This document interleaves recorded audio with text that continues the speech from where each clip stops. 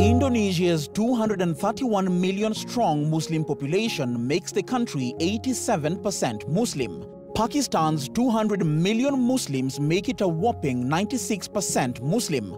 On the other hand, India's 195 million Muslims makes India 14% Muslim, and Bangladesh's 153 million Muslims make it 90% Muslim. These are the top four largest Muslim countries in the world, and you can see a trend. About two thirds of the world's Muslims live in countries with the 10 largest Muslim populations, while only 48% of the world's Christians live in countries with the 10 largest Christian populations.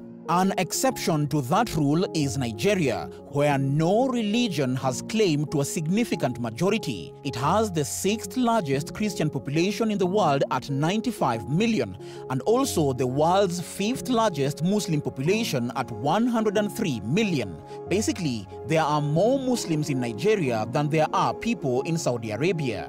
There are many multi-faith countries in the world, but Nigeria, a country of 219 million people, is the only one whose population is almost equally split between Christians and Muslims. Religion is so woven into the country's identity that an academic nicknamed it the Pentecostal Republic. But do Nigerian Muslims consider the country Islamic? I don't mean to connect dots that don't exist, but hear me out.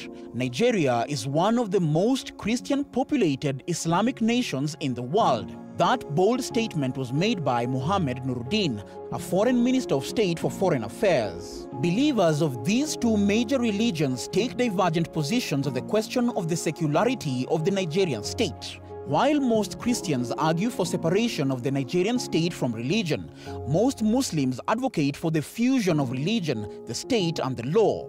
To many of them, the Sharia ought to govern the totality of the life of a Muslim from cradle to grave.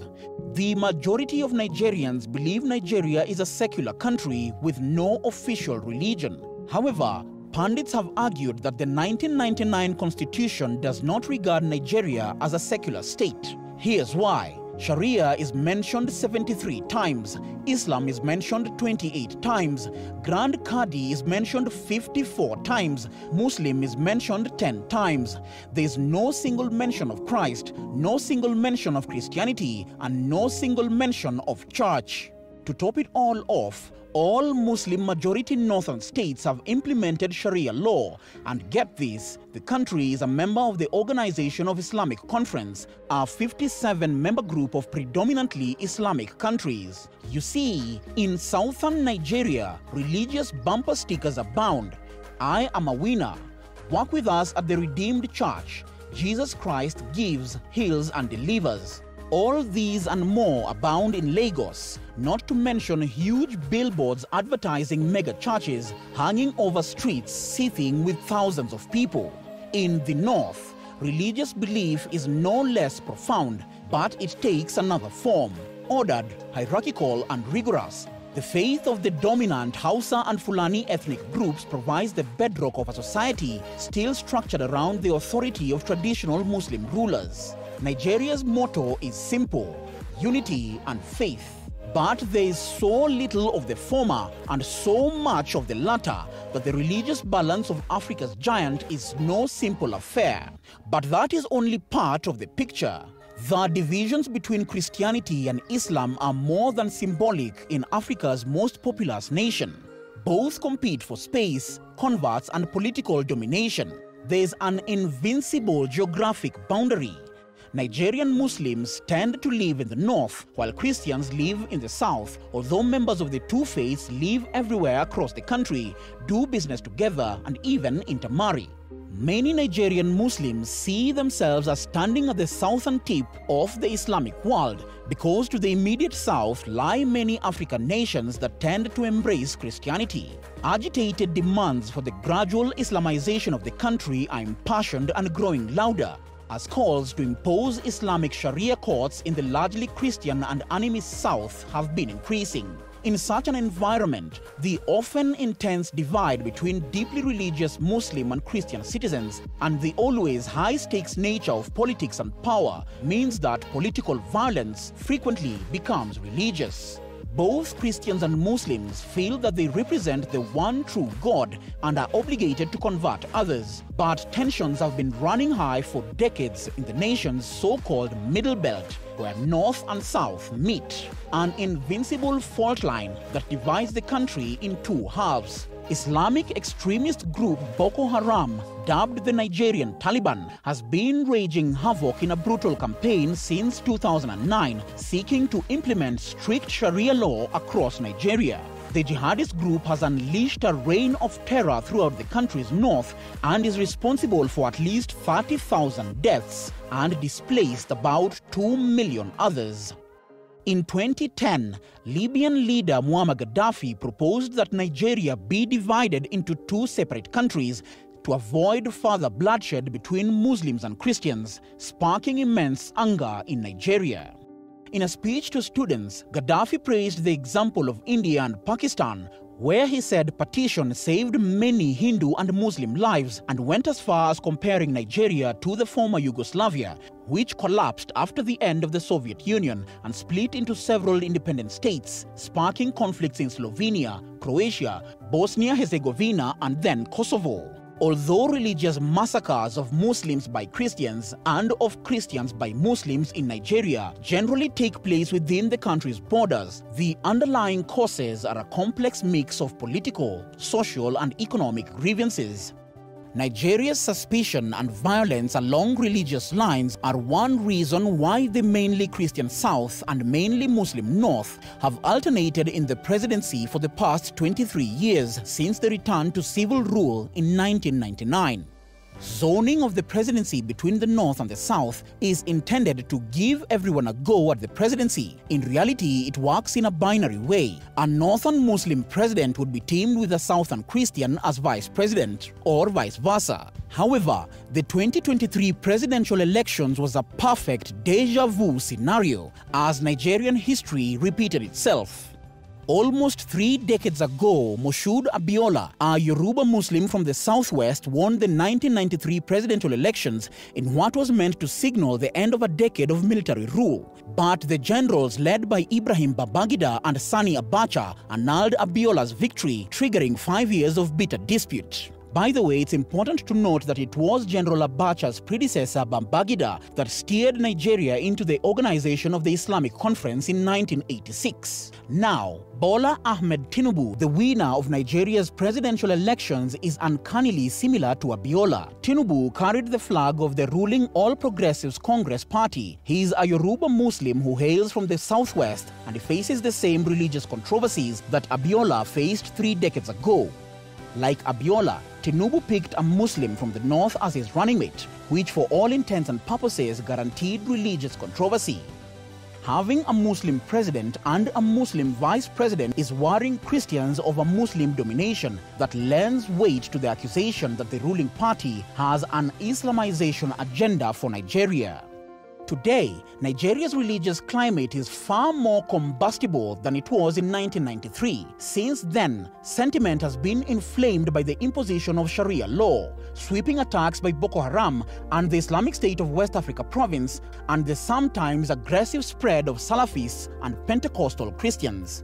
To start with, Christians have always been afraid of Islamic or Northern domination. The Christian share of Nigeria's population is on decline due to lower fertility rate compared to Muslims in the north because Muslims on average are younger, have more children than do Christians, and there is a pervasive fear that Islam might expand and gain greater influence by using the resources of the federal government to its advantage. Anyway, there is widespread feeling in the North that the South has somehow sprinted ahead of the North in education, business, and industry, that the South has made greater strides in escaping the restraints of tradition, and that it is, as a consequence, unfairly prospering. In reality, for most of the years of independence, the North has produced the majority of the country's leaders, and nearly all have been Muslims, leading to the political concept of Northern primacy. British colonialists traditionally awarded political leadership positions to members of the Muslim majority in the north. After independence, the northern political class used the army to control power and distribute resources to themselves. In the 1990s, a number of northern politicians developed a political theory of domination. The East should control trade, the West the civil service, and the North political power. Muslims have been accused of wanting to impose Islam on Nigeria, but mobilization by Southern Christians have suggested that there would be secession or warfare. Under the government of the previous president, Muhammadu Buhari, many Christian schools were taken over by the state and permits to build churches were held up while the construction of mosques was stepped up. During the country's constitutional review process, Muslims argued that the country is not secular in the true sense of the word, something Christians were vehemently pushing for. The Jama'atu Nasril Islam, the umbrella under which all Islamic organizations in Nigeria rally around, contend that Nigeria can never be genuinely secular unless the country, which is already heavily Christianized, is first de-Christianized. They alluded to the political system of Nigeria as being based on Western civilization, which is Christian. In addition, the Nigeria legal system, which has the English common law as its cornerstone, is Christian inspired and laden with Christian ideals and doctrines. They queried whether a country where Sunday, a Christian day of rest and worship, is work free, but in which Friday, the Muslim day of special congressional prayer, is not accorded a similar treatment, can truly be said to be secular. They gave many other examples of what they termed Christian manifestations in the nation's public life and institutions, which include the use of the Christian cross as a symbol of medical and health services in government owned establishments, to the exclusion of Islamic crescent, which is a symbol of medical and health services to the Muslims, the adoption of the Gregorian Christian calendar for official use to the exclusion of the Islamic calendar, making 1st January of each year a work-free day without making 1st Muharram a work-free day, fixing long holidays to coincide with Christmas and Easter festivals without corresponding arrangements for the Muslim festivals. They concluded by saying that in spite of all these Christian manifestations in the nation's public life and institutions, some Christian leaders are calling for secularism for Nigeria, not of course realizing that if secularism were to be applied, all these Christian manifestations entrenched in the nation's public life must be done away with. According to data from the United Nations, Islam is the fastest rising religion in the world this has stoked fears in the Christian community. Similarly, many Muslims fear that globalization and Western culture undermine Islam and therefore view them with suspicion, if not antagonism. For a country to be considered an Islamic state, the following four boxes need to be ticked. The principle of sovereignty of Allah, the principle of the Prophet's authority, and the principle of a state in which sovereignty would be exercised in the name of Allah, and the principle of political consultation system. But while angry Christians may talk of dividing off the oil-rich South from the North, the prospect of an all-out civil war splitting Nigeria into two countries is considered unlikely. Many acknowledge it would be virtually impossible to separate peoples already so woven together. All northern states have substantial Christian minorities, and up to half of Nigeria's more than 30 million strong southwestern Yoruba ethnic group are thought to be Muslim.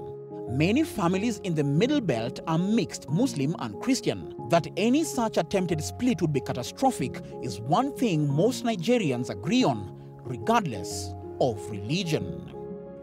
If you liked this video and you're open to having some better understanding of Africa, consider liking it and subscribing to Risen Africa. Every single video will make you realize just how much more there is to know about Africa. Thank you so much for watching. I'll see you next time.